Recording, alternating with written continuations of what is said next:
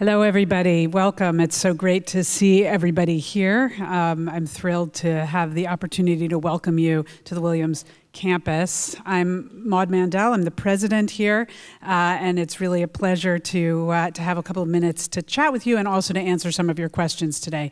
I'm joined by Gretchen Long, who's dean of the college here and the Frederick Rudolph 42 class of 1965, professor of American culture. Uh, she's a, a, professor in the history department, actually, as am I, um, and uh, and has recently stepped into the role of dean here. Um, and so we'll both going to spend a couple of minutes. Um, giving you some sort of overview from where we sit on life on this campus right now.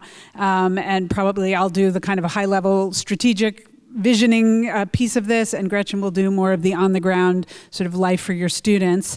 Um, and then we'll stop talking at you and spend uh, the rest of our time taking your questions uh, and hearing what's on your minds um, as you are uh, visiting the campus today. Um, I hope you're really enjoying the beautiful weather. We were very lucky um, this weekend, and uh, and so you're seeing Williams as it always is, sunny and pleasant, um, and uh, and we're we're thrilled to we're thrilled that we were able, able to uh, be together in this um, environment so um, I, I, did want to um, start in a kind of empathetic space, which is to say that uh, actually both Gretchen and I have um, children in college. I have one that just graduated. Um, I have another that is uh, actually a first year student this year. How many of you are parents of first years? Can I see hands? Great. So, so you know, welcome to our lives. Actually, two weeks ago, I went to my daughter's campus, sat in an audience like this one, and listened to the president give uh, a little bit of a speech um, saying the kinds of things that I'm going to be saying today. Uh, and so, you know, I really know what this experience is like, also having gone through it with my son um, a few years ago. I know you have a lot of questions in your uh, on, on your mind, curiosity, I hope, as well. Um, and we really do hope to be able to answer some of those uh, today as well. Um, I thought as uh, I started today that I would start with a story. Um, I mentioned I'm a historian and I like, I like narrative. Um, but uh, it's also I think it's a perhaps just a really wonderful way into saying something kind of fundamental about the this campus. Um, so my story is going to focus on one junior, um, who I won't name, but it just for the purposes of not embarrassing that student. But actually, you can find out, out more about this student on our website, so it's not really that private. Uh, but this is a junior from the class of 24 um, who spent some time this uh, summer doing some research um, and prior, but um, and created a digital instrument called the Storm Orchestra. So this is a library of virtual instruments that are based on field recordings from Ireland's west coast. Uh, and the instrument um, which is actually available online. So if you want to know, you can come up afterwards and I can tell you how to find it, allows users to play a coastal storm based on the sampled sounds of waves uh, that are crashing on the boulders uh, and the boulders moving. And people can actually also compose uh, with this tool their own pieces and supplement the sounds of nature with other instruments, um, such as an Irish frame drum, uh, uh, certain piping instruments, and others. Um, and um, the idea for this was inspired by a National Science Foundation grant, which uh, was supported during a research trip to Ireland uh, this past summer, which was led by one of our geoscience professors and four other students who spent several weeks uh, making the recordings and assisting with other field data collection um, to learn how boulder beaches respond to storms and change over time. So why have I focused on this one student and told you this story here today? Well, for starters, I should say I could have told you actually hundreds of stories like it, um, which is to say the story of a student research project in a collaborative environment working with a faculty member here. And I really wanted to highlight um, the, the way that operates at Williams because I think it says something fairly fundamental about the place. Um, but I also wanted to note a couple of other things about the story. The first is the interdisciplinary nature of the project, the way in which it crosses over uh, between science and the arts, music, um, and geoscience. Uh, the way it based, it was um, pulled together a collaborative project, students working together. The close relationship of guided research with a faculty person, research being one of the core liberal arts competencies that we hope that students get better at while they're here, because really there's nothing they're going to do after they leave here that doesn't have research as one of the things they need to be able to do. Um, so a guided research project with a faculty person working closely uh, with students. Um, glo the global reach of the project um, that takes students away from our lovely and today beautiful, but sometimes um, fairly isolated campus uh, out in the world to do uh, the kind of work um, that I think is at the heart of this project. So I really think the story is uh, Williams at its best, and I, I, I offer it, this is a, a junior, first year students are, are only beginning their journey here, but I hope you're, those of you who are first year parents and second year parents are beginning to see those kinds of um, experiences playing out. The sparking of intellectual curiosity, which I think runs so deep uh, in our student population, the mentorship coming from faculty, not all faculty, right? It takes a while to find, and we can talk more about this if you want in the question answer period, finding the people who are going to be uh, the mentors and partners, and it's not just faculty here, but really, really talented and committed staff working throughout the institution who are um, uh, really um, focused on student learning. Um, and, uh, and the way in which um, so on the one hand, mentorship, on the other hand, intellectual curiosity, and I guess the third hand, uh, apparently I didn't take math in college, um, is, uh, is really um, that fostering that independent thought and independent ability to take a project or a question and begin to, to tease it out. And that can happen in lots of different ways. I, am actually teaching my own course this semester, which I try to do um, from time to time at Williams, and I'm teaching a senior research seminar. Uh, you know, this is a, also a class which is trying to promote students to do their own research research. Um, it doesn't involve going abroad. It's not um, a multi uh, a month project, but it really is that same idea of what is what are you interested in? What are you curious about? What are the tools you need in order uh, to build your mind and explore the world? And so this is, uh, I really think, um, very much the heart of what we do here. Um, I, you know, I like to think that Williams offers students the very best generalist liberal arts education in the country, um, and that it's been doing that for decades by providing students with these um, cross core competencies that uh, that we want all liberal science, liberal arts students to learn.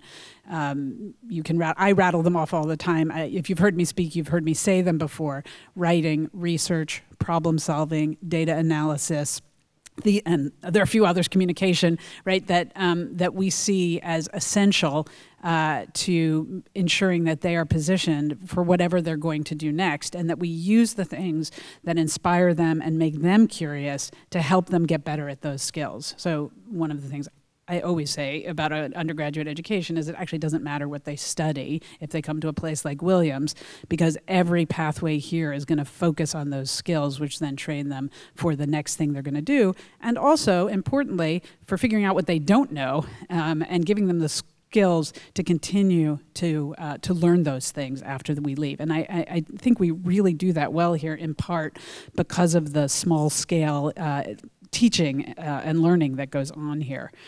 Um, but we're also doing it in a context right now, um, and this is now I'm kind of shifting to my presidential uh, sort of strategic thinking as we go forward uh, into the future. Um, which is, uh, you know, the world our students um, are graduating into, which is uh, technologically advanced, um, globally entangled, ever more so with every passing year, and full of emergent needs um, that employers and um, communities uh, are going to be relying on going forward around questions of sustainability, um, social uh, equity concerns, um, and as so we're also hoping that as they get better at those competencies here, they're becoming um, more focused in their learning on some of these uh, realities that are going to affect the world that they're going into now, and to position them to be successful in that world. And that's really some of the um, broad themes that are built into Williams' strategic thinking for the next few years. If you're interested, there's a very long strategic plan on a website. Um, but I, I, I, wanted to just highlight a couple of the things from the strategic plan that the strategic plan was a sort of a 10 to 15 year document. You probably are less interested in that because you're focused on the next four years. So I wanted to just pull out some of the things that are going on campus right now that will influence your, your students' lives while they're here, um, but that are um, focused on some of those strategic goals or pulled from those strategic goals uh, going forward. Um, so, uh, first just speaking a little bit about a strength of Williams uh, in the science um, and math. We have a focus in the strategic plan on um, uh, technology in the liberal arts. So that is, what do you get if you come to a place like Williams that's going to prepare you for the technologically rich society that we're going into? This year, we have a data science course being offered in the computer science program. This is um, the beginning of, a, we hope, ultimately, a building out of a data science program here. Um, but really, at the core of this uh, focus is um, continuing to offer students through science and technology studies and um, uh, applied math and computer science um, and uh, statistics, um, but also philosophy and history and economics, uh, a way to think ethically and um, intentionally about what it means to live in a data rich world, in a world where um, uh, their AI is going to be really shaping their lives even much more um, strongly than it has shaped all of our lives. And so um, we continue to think about um, building up offerings in that area. We have a number of new faculty, for example, in our computer science department, um, our statistics department, et cetera, which speak to some of these interests. But I, I, I do want to emphasize that other piece of it, science and technology studies and the way in which which history and ethics and philosophy uh, are really built into our, our thinking in this area and will be going forward. Um, we also uh, continue at Williams um, to, I mentioned being the very best generalist liberal arts college in the country, and that's really um, means that in addition to thinking about some of the realities around technology, we continue to think about the breadth of the humanities and what that gives to students uh, who are going out into the world to make social change and live in the complex world that they live in. Um, and a lot of, we have very good humanities departments at Williams. Um, we are doing some targeted investment targeted investment right now in the arts. Uh, Williams has a long tradition and history of uh, uh, focus on um, art history and the visual arts, um, but also in uh, all forms of the performing arts.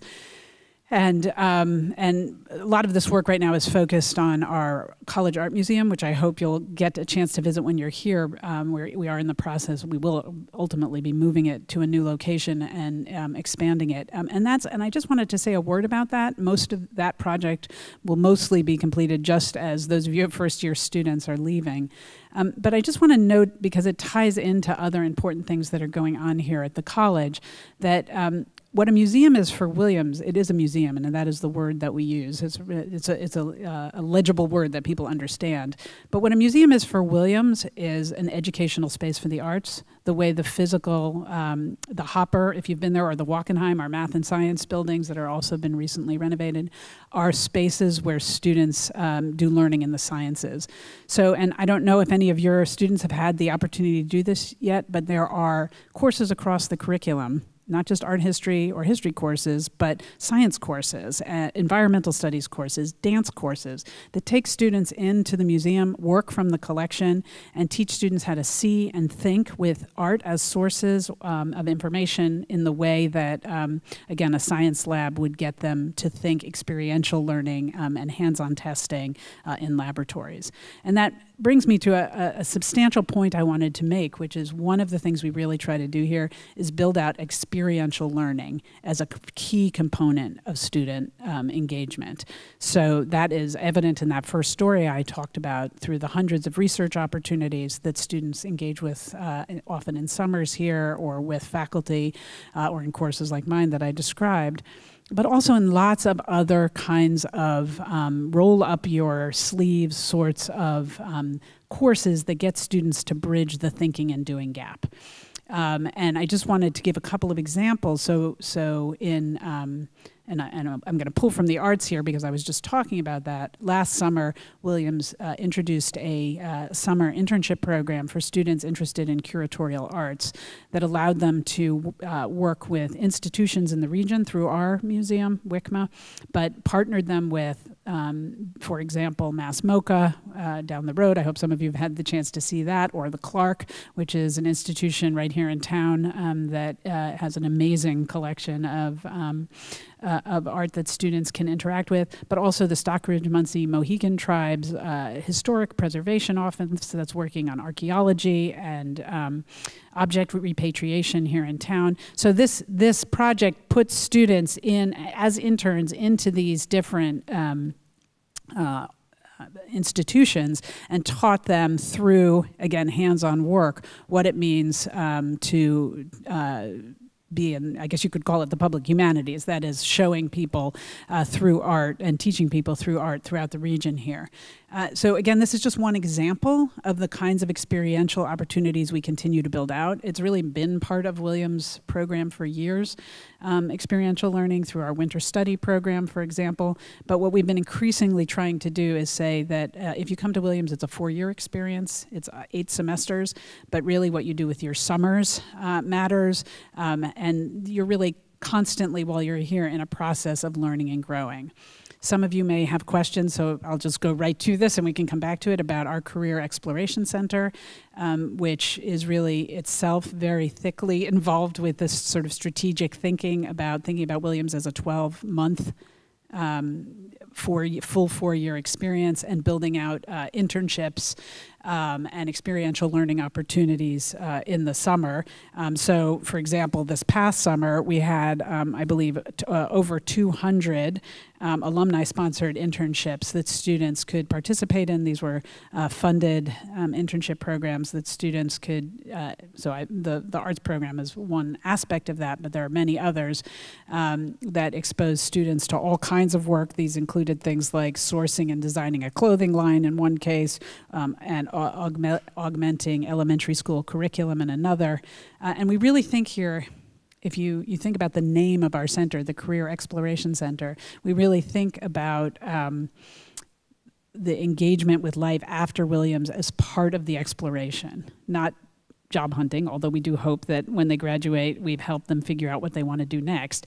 Um, but I think we think of it that way. It's what they want to do next. It's not necessarily what they want to do forever and um, and they do that through uh, exploring various options, much the way they explore while they're here. Do they want to study philosophy or history, uh, or environmental science or physics? Um, and they figure that out by trying it and testing it out. Likewise, we hope that in their winter study courses and in their summer experiences, among other things, it won't be the only thing they do, but that one of the things they do is uh, explore what they're good at, uh, what's out there, and so many of them don't know, uh, by trying, um, experimenting, testing, and discovering and exploring. Um, and so this is also then a really big tenet of um, our current strategic work, is focusing on that 12-month arc and thinking about um, experiential learning as part of the undergraduate uh, liberal arts experience that's so important. Just two other areas I wanted to mention before I hand the microphone off to, uh, to Gretchen. Um, one of the other really major strategic goals of this college continues to focus on access and affordability and uh, creating a campus that is um, open to everyone who has um, gotten into Williams so that they feel uh, comfortable and included when they're on campus. Um, Williams did move to an all grant financial aid program last year. That or this is the first year of it actually, um, and really uh, has tried to focus on removing um, uh, certain burdens that were on families. Many of you may be in the situation uh, of being on financial aid in one form or another, um, and we have been trying very hard to uh, lean into uh, making the college as affordable as possible by removing the work study obligations and the loan obligations that uh, families were facing. Um, this is our, our first year of doing this, but really want to stress that the goal here was to open up um, the possibility that students could take full advantage of the program here um, and not feel disproportionately burdened to be um, doing work back for the college uh, as part of their financial aid program. So that program's underway. Um, I just heard the other day that uh, when we announced the news, uh, a couple parties broke out on campus. So, so I'm hoping that this year uh, the uh, uh, the, the, the fruits of some of those um, new opportunities uh, are playing out um, uh, as students take advantage of them. So I, I wanted to mention that. And then uh, one other area I just wanted to mention that if you're joining the Williams community, particularly for the first time, um, and take a look at the strategic plan, you'll see there is a significant emphasis on wellness and well-being. Um, and that's something that we're uh, uh, focusing on by certainly building out student support um, through our Center for Integrative Wellbeing and Mental Health Support on campus. Um, but really, it is a broader strategic goal to, fill, to, to figure out how over time we can help students um, more build up the resilient capacity to take care of themselves are, while they're here on campus.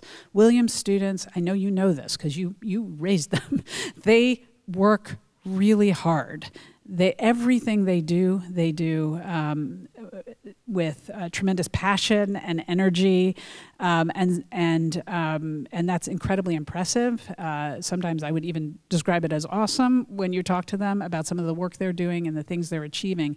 And as you know from my first story, I want to support them in doing that work. But we want to make sure that while they're doing it, they're they're really learning the skills to take care of themselves uh, as well. And so we're uh, we have um, folks from our athletics department. I know some of you were in here for a prior session around that, uh, working with folks from the Integ Center for Integrative Wellbeing and the Dean's Office um, to continue to think about how we can help our student community continue to learn those resilient skills so that, um, so that it, as they push themselves so hard to learn uh, they will simultaneously be figuring out how to deal with some of the stresses that come with that. Um, and as for those of you who read the newspaper, you know that this generation um, has really been facing a kind of level of, of stress in that space that is distinctive, and we want to continue to think about how to support them well.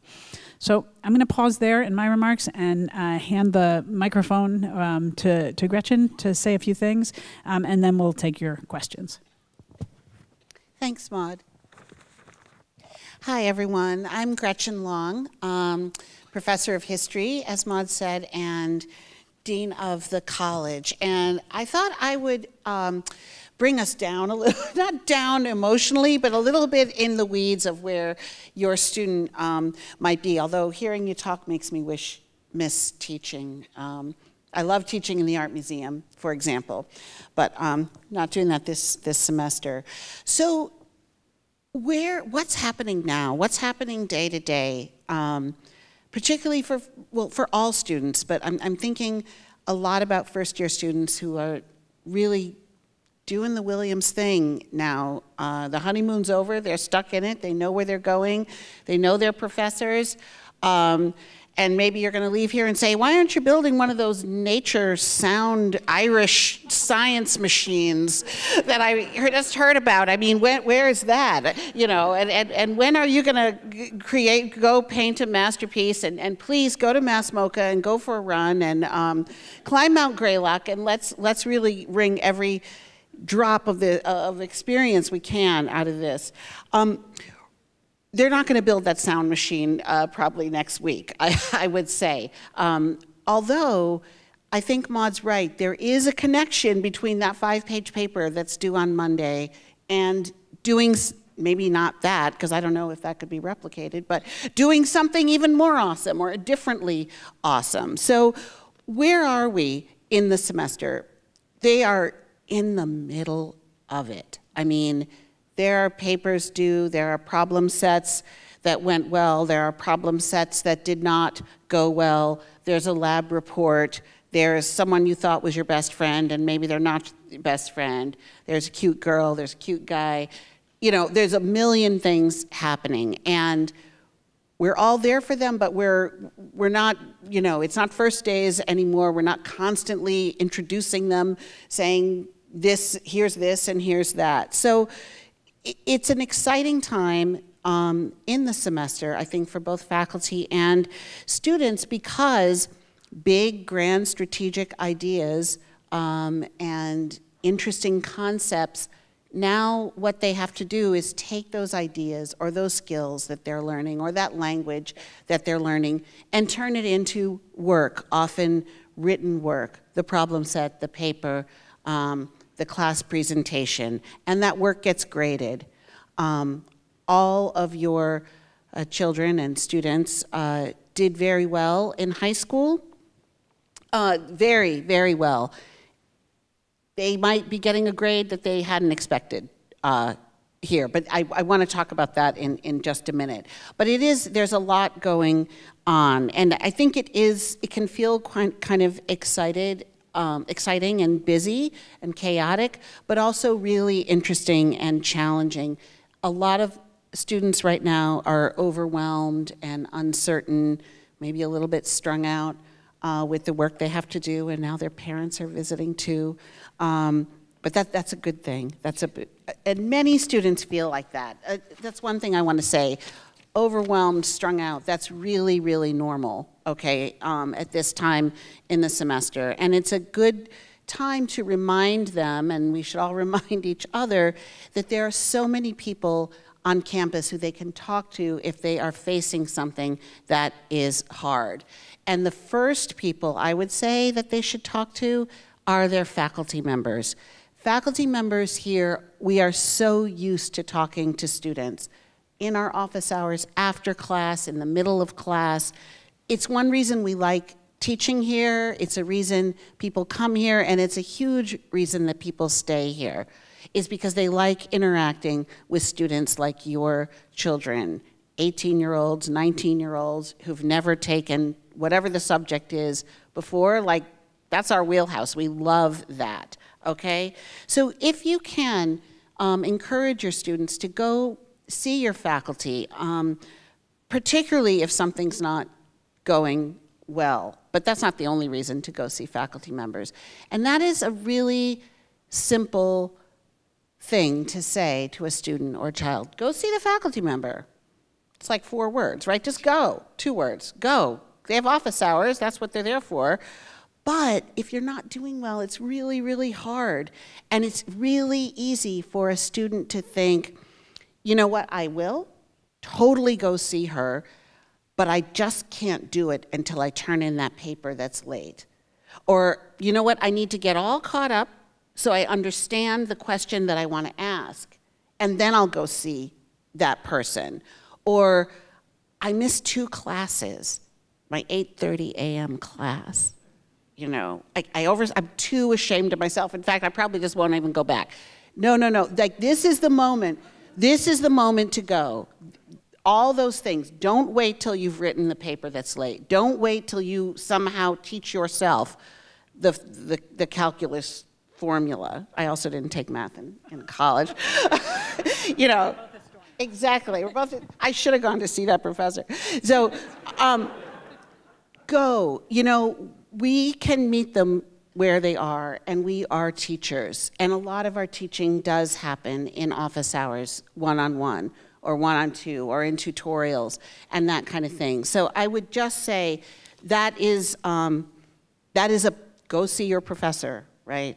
You can say that and then you can quote all the things that I just, um, just said. But please don't avoid the faculty. Um, they don't like it, students don't like it, and it's, it's not the reason they came to a place like, like here. Um, I also, I alluded a little bit to things maybe that didn't go so well. Um, maybe they got back a paper with a lot of writing um, in the margins from Maud Mandel. Maybe they got um, a problem set where they got lots of problems wrong. Um, and that's also really normal in the first six weeks. This is a step up for students. Um, and I will also say, we want to take care of that. We want to talk to the faculty member, understand how to do better, but it's not really a predictor of how they're going to do at Williams or what major they should have, or maybe even how they're going to do in that class. There are very, very, very few classes, and certainly probably none for first and second years, students that rise and fall on one assignment or two assignments. Um, so it's, a, it's not a good predictor. It's not, it's not anything that's showing you the path that that you'll be on or won't be on. Um, it is an opportunity, though, to do something that a lot of your students haven't had to do before, which is to go and say, um, help, I'm lost. I don't get it. I didn't, know, I didn't understand. I still don't understand. and work through that. And we all know that even beyond college, being able to ask for help in the world is a good thing, and one that very, very successful people um, do and are, are good at. Um, I also want to say, um, apart from faculty, there are lots of academic resources that your students heard about in a kind of tidal wave of information in first days. But now is another good moment to remind them. We have a writing center. They can have a peer tutor for writing. We have a math resources center for quantitative work. Those are both on the um, fourth floor of the library, uh, and you can ask your student to walk you up there and point out, um, point out the rooms. There's a special tutoring program for students taking economics, which is very popular um, class, the sort of intro level microeconomics. So all of those maybe just sounded like things they heard in first days. Now is the moment to, to take advantage of them. Um, and so we all want to reconnect our students now with those resources. And in fact, when we talk to seniors, um, a lot of them say, I wish I had gone to get extra help earlier in my, in my career here. That they, the writing skills that they learned um, early on from our writing tutors carried them um, through a lot of classes. So go ahead and use them. That's what they're, that's what they're there for. I mean, who else would they be there for, right? Um, I want to talk now a little bit about next semester because actually starting on Monday your students are going to be registering um, for their classes for next semester and you might want to have some conversations with them about what they want to do um, and if there's things they know they have to do you know we do have distribution requirements it's nice to think about knocking those some of those out um, in the first year. They're writing skills classes, um, taking classes in three of our uh, different divisions. A lot of students might not know what they want to major in. The thing they thought they wanted to do, they it, it's just not they're not feeling it, or they didn't get into the intro, whatever the, the class is. Um, try again to get into it you can still explore. I, a lot of students don't start their major until sophomore year. Um, you know, there's time to take something that just sounds interesting or that you now have the confidence to take. Take a tutorial. Um, take a music class. There's a million things. And it's totally okay not to know what your major is or to know what your somehow big plan is. Who are you going to be second semester, senior year? You know, there isn't, if they have a crystal ball, they know. Otherwise, they don't. Um, and we certainly don't know, but, you know, we're, we're all going to work with them uh, to, to get there. Um, there are some questions that I like to ask my students, my first semester, uh, first year students, when I'm advising about the second semester, as I've been doing um, a lot of this week which is to uh, sort of ask them about classes not in terms of subject, but more the kinds of skills that they get. Like, would they like to do something experiential? You know, whether that is like a lab science where they're getting in there and doing something, or a studio art class.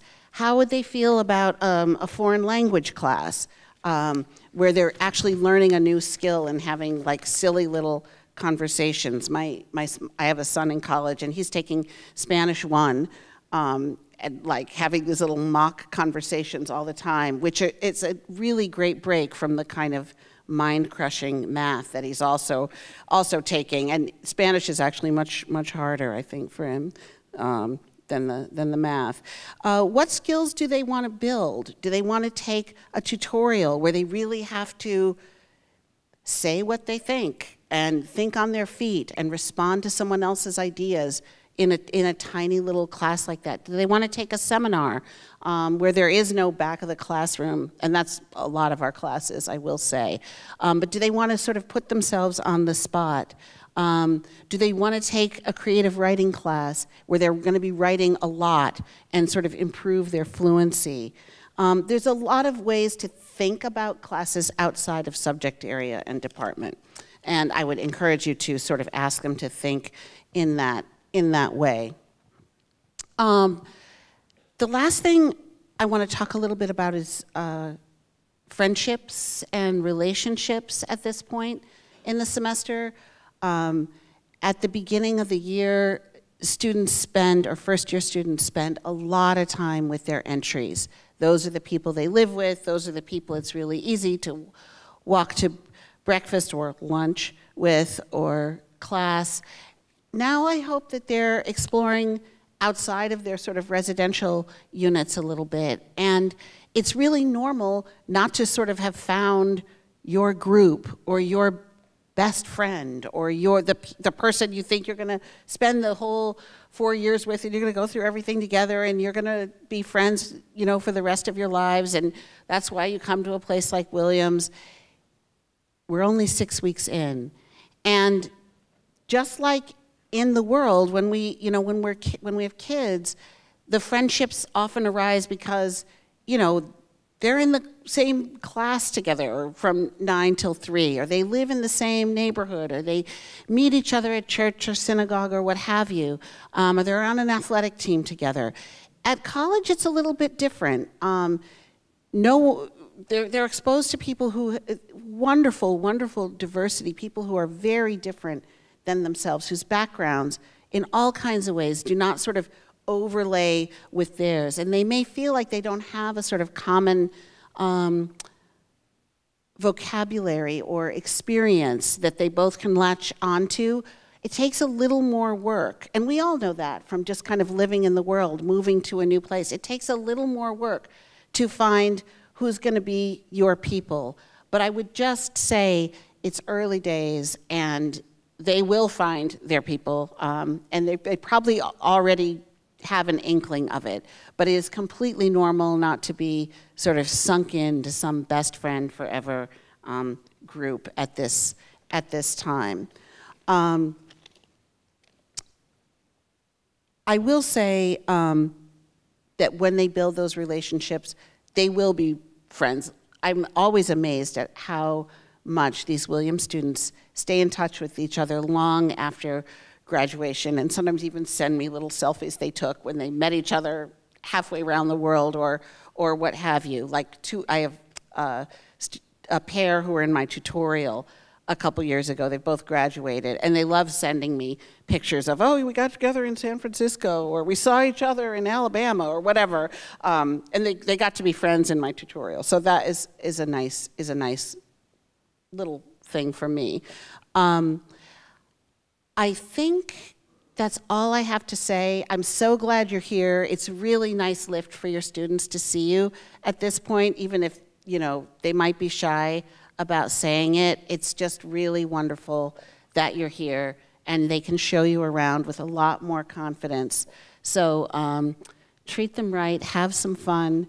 Um, thank you for bringing the sunshine. Um, enjoy the foliage, and we can have some questions now and hopefully say some reassuring things. Okay, so we're going to open it up for questions. I'll just share that uh, when we went to visit our daughter uh, for family weekend, there was a certain point of it where she was too busy to see us, and that's also quite normal. So if you're experiencing that, um, understand that a family weekend is also for you, um, and uh, and they might very well uh, be busy writing papers or on the field, athletic field, or, or rehearsing for some great show that they're gonna they're gonna launch, and that's that's also a sign that uh, that things are going as they're supposed to, even if it doesn't feel quite like what you were expecting. So, all right, we're going to open things up for questions. Uh, yes, I see one right here.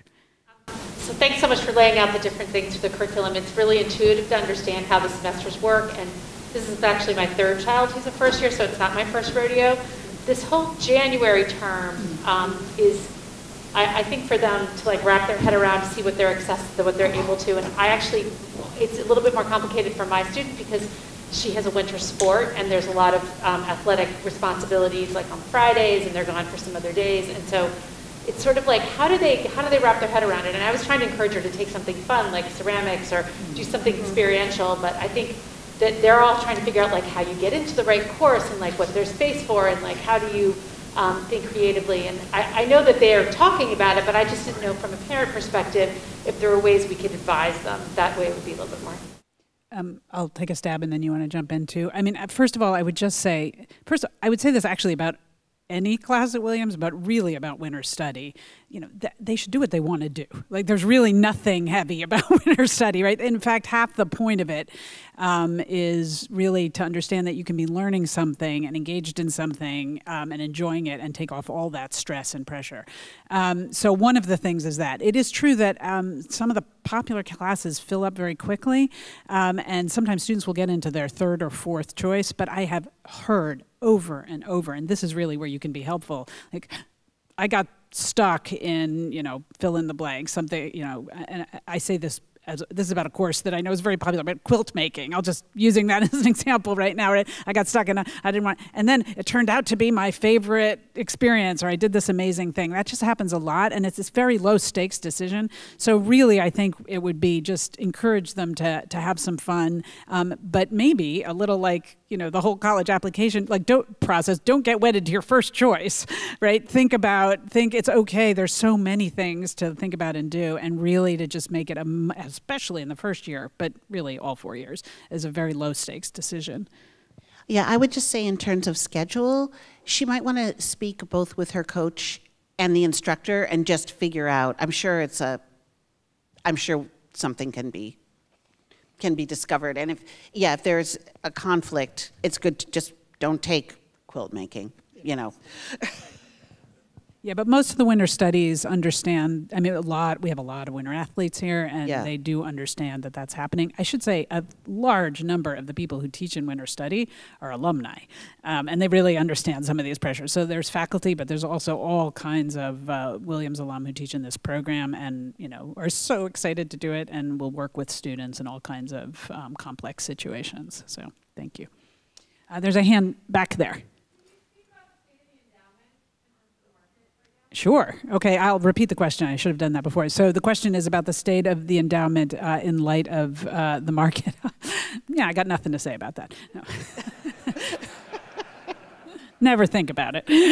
Um, uh, yeah, so um, uh, Williams had a very good year, as did many, many um, higher ed endowments um, two years ago, uh, where our um, returns were uh, just under 50%. This is really quite an incredible um, and historically uh, not unprecedented, actually, but notable, um, and not even the highest, actually, historically, but uh, certainly a notable year.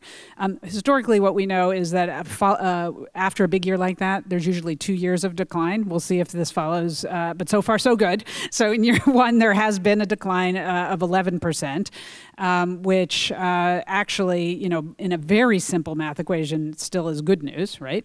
Um, uh, it's a little more complicated, and this is actually the more interesting part of the story right now because uh, the, that historic first of what is likely a two year decline uh, is coupled with very high inflationary pressures. You know this, you're all experiencing it in your lines of work, but that's what's distinct uh, from, say, 2008, 2009, where there were big swings, or the prior uh, collapse at that point. So, so the real impact of the decline is greater than um, would have been true if it was quote just 11% right um, so that's the sort of simplest math answer to i, I learned that much math since college to, to explain um, uh, and it does have an impact, uh, for sure, um, on on the college. On the other hand, Williams is a very well resourced institution, um, and uh, you know we, um, I think, are not we don't struggle with the kinds of things other institutions struggle with in a moment like this.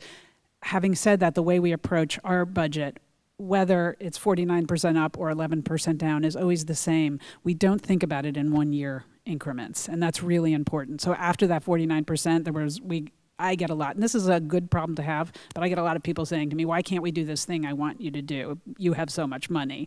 It's a good problem to have, so I'm not complaining. But um, but you know, we we think in years arcs, so we spread we we spread over uh, a number of years uh, our thinking around the endowment, um, and that helps us account for moments that it goes higher and lower. So um, we have really careful, uh, well trained um, staff who work on that and partner with the board to make sure that the highs and lows of any particular year are less painful. Thank you. Yes, please.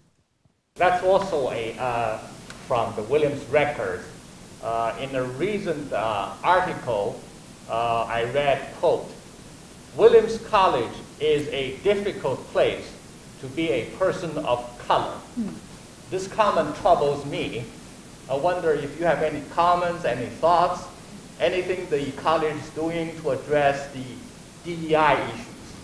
Thanks. So maybe we can, you want to both, I'll start and then you want to jump in. So, um, so first of all, just to repeat the question, uh, the quote comes from an article that was in the record, which is our school newspaper, um, which cites a student saying that this is a challenging place to be a student of color, and what is Williams uh, doing about this?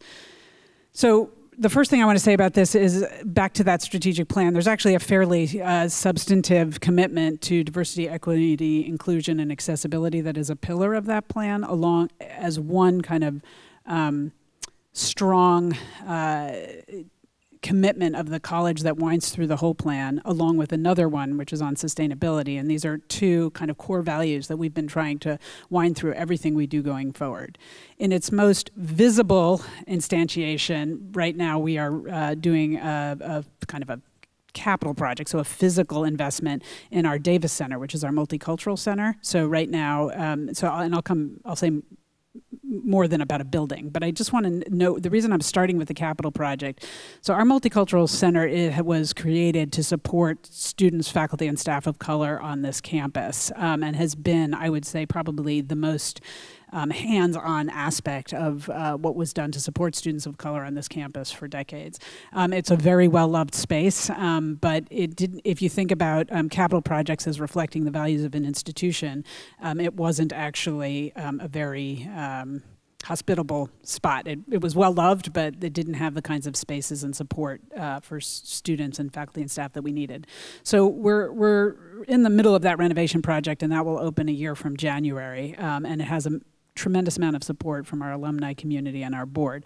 I say that, and I started with the building project because I just want to note that it really is a core value of this institution, as supported by those communities, uh, to create a place of belonging for anybody who comes to this campus, no matter where they came from, uh, what their background, points of view, experiences, nationality, religion. You know, we have a huge amount of diversity on this campus. And one of the things that the Davis Center does, which sits in our Office for Diversity, Equity, and Inclusion, is not only supports those students, but also tries to help the campus deal with creating um, conversations across difference. So, so in other words, it's not just it's not just about supporting uh, students of color, but it's about helping the whole campus be a place where diversity can thrive and conversations across difference can happen.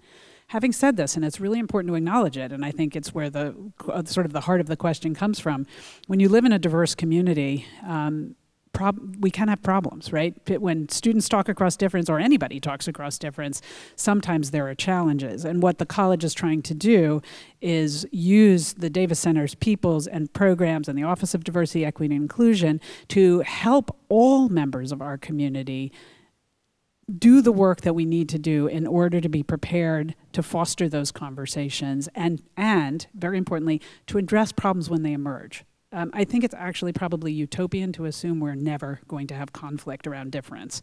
So we want to do the best we can to educate the community to prevent that from happening. But we also want to empower the community when it does happen to have the resources they need to help navigate through those moments. Um, and, and so I would say those are both core commitments um, and they work in parallel. I'd like to someday be able to say we will never have those problems but I want to make sure that when those kinds of issues emerge or when a student feels that way, that they actually have resources here, and I really believe they do. Um, and if you have students that feel they don't, please come talk to us afterwards because there are so many resources here to support students from a huge array of background uh, when they're feeling challenged in that way. Do you want to add? something? Yeah, I would just add that um, apart from the, the Davis Center, which is a really exciting new new building project, in our um, intellectual work and in our curriculum, we emphasize diversity, equity, and inclusion. There's a requirement to graduate that you take a course that's designated as a difference, power, and equity, a course that engages these questions. Um, and Williams is more diver racially diverse and, and certainly um, income level diverse, I think, than it's ever been before. But, you know, like all of higher education, you know, Williams or most of higher education, it, for most of its existence, it was not particularly diverse. Um, and so I, it's an exciting time to be here, but you know, the Williams of the past is not the Williams of the present, but there's, hold, you know, just, just like all sorts of institutions, I think, in our society that are um, in, in moments of, of exciting transformation. It's not always bump free. Thank you. Other questions? Yes, please, over there.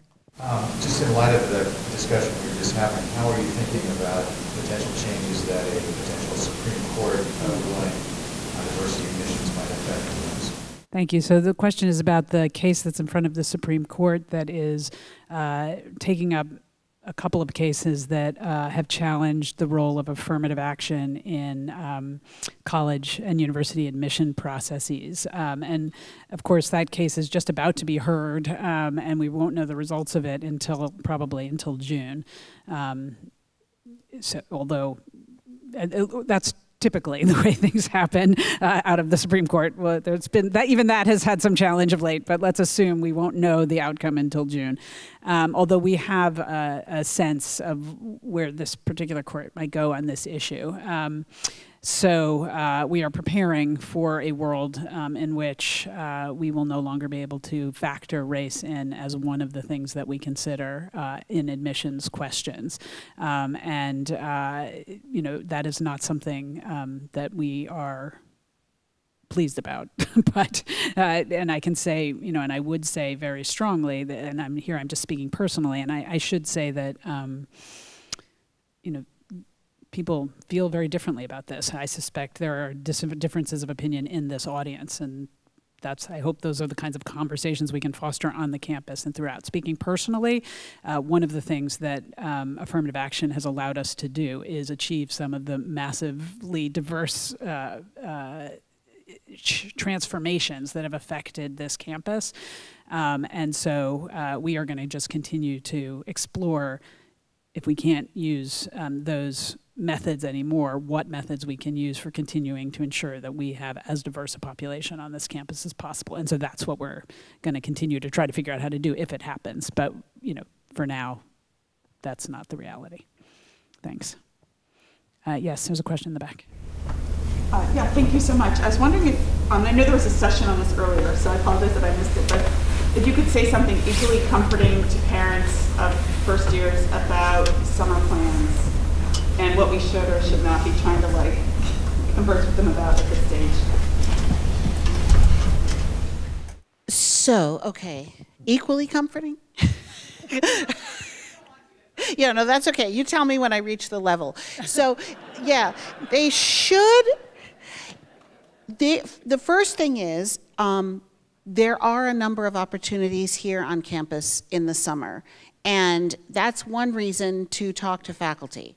Um, sometimes faculty have opportunities um, or can steer students to opportunities in on campus or in the area um, for the summer, and we can help out with housing and that that sort of things. There's the Zilkha Center for Environmental uh, Studies, for example, always employs students, and there are other uh, there's some research positions that's a, a, little harder sometimes after the first year, but not, not always. So that, that's the first thing.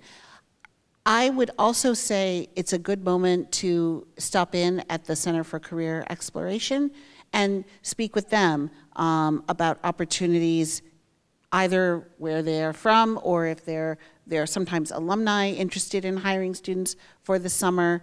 Um, another place to look in is CLIA, which is our Center for Ex Experiential Learning, also has summer programs um, for which they hire uh, students to do all sorts of sort of community-based projects that are often really interesting and exciting. So that that's a few places that that they can go.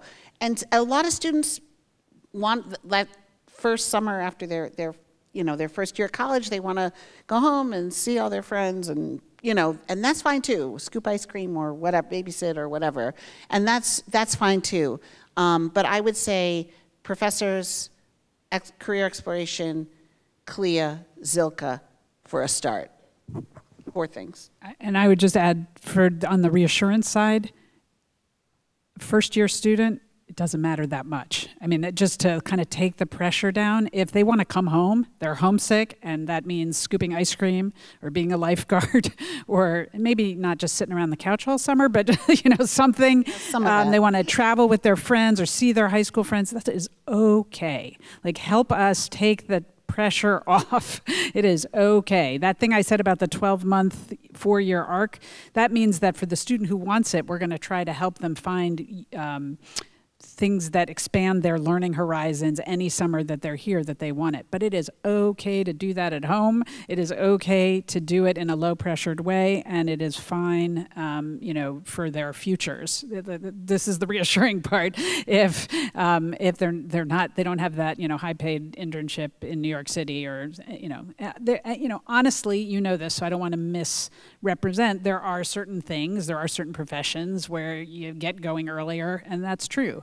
Um, but it is also equally true and far more important to say out loud there's not only one thing to do in the world. Um, and college is about exploration. I had a student say to me the other day, um, one of my advisees, I had an existential crisis about my major. Um, and, and she talked me through her existential crisis. And I said, everything was great. So it involved, like, she was started in one major, and now she wasn't sure she wanted to major in it because there were no courses next semester that she wanted to take in that. And it was actually her second major. So, you know, so, but it was, and I said, like, everything that you have told me up until now is great, except the word crisis. This is exactly what is supposed to be happening, right? Exploring, thinking, figuring out what you like to do. And it might not you might not if you go through one door other doors close that's okay. There are still a lot more doors out there. So the re, you know it isn't all sealed with the one grade with one- uh, you know uh, it is it, it it's a question of figuring out who you are when you're here and where you want to go next. That's really it and each next is not next 50 years from now or 30 years from now or frankly even 4 years from now. Next for lunch right? Next what do you want to do next? And where is that going to what door will that open? So I, that's what i'd focus And on. I, I will just jump. You talked about the four-year arc thing, but there's also the well-being piece, and having students build up some resilience and um, confidence in themselves uh, of seeing this is a long con. You know, we, we, we're we're we don't have to figure it all out right here. So. yeah so i know we're at time and folks have other places to go so i wanted to uh, thank you again all for coming uh, it's a pleasure to chat with you i hope you have a wonderful visit um, and we'll see you next time thanks